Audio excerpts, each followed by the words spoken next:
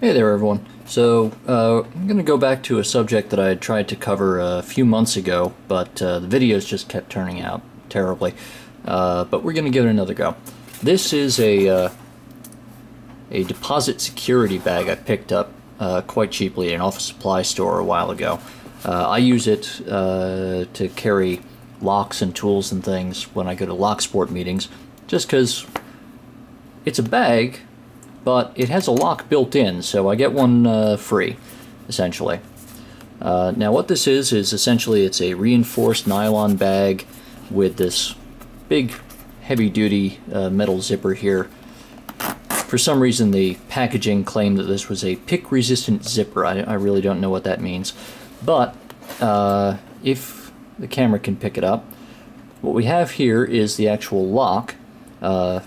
Stamped on this section here is 7 pin tumbler and the manufacturer's information uh, MMF Industries Wheeling Illinois.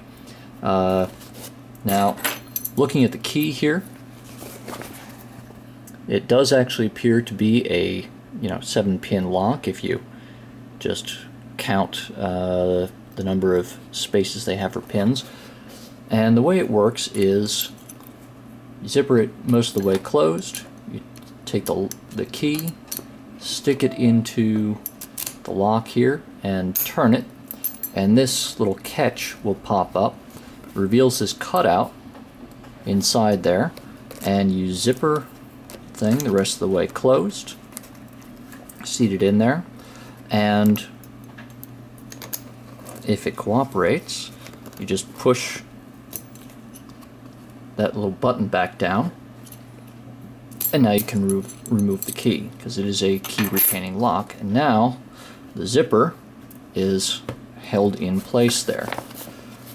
So, looks pretty serious, right? You know, uh, this is a bag designed to carry money to the bank or something. Seems fairly heavy duty. It's not exactly a light uh, container.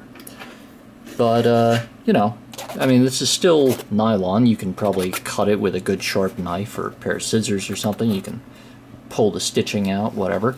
But uh, we don't want to destroy this. We want to be able to use it afterwards.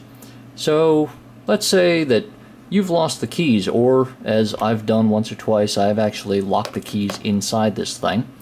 So what we're going to do is we're going to take our uh, Peterson pry bar light, stick one end in there. So this is just a little too thin for the full size, for the original pry bar. And we're going to take our flat-tipped uh, hook. We're just going to reach in there and feel around. Just keep... Oh, look at that. Seven pins and we didn't even have to pick them all. And we've got it open.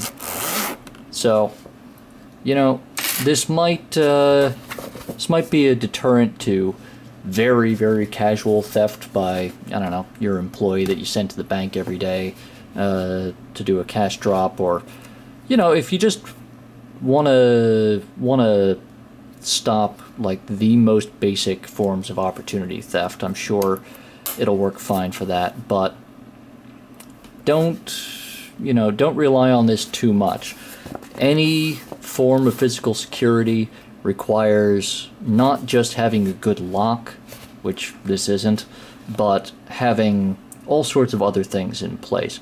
Having a, a guard or a reliable uh, person to keep an eye on things and be there constantly enough that uh, anyone who would try to pick something like this isn't really going to have the chance. So, uh, that's it for today, and hopefully soon the video quality will improve because I'm about to get a new camera uh, before this thing totally craps out on me. So, until then, uh, have fun, stay legal, stay safe, and happy picking.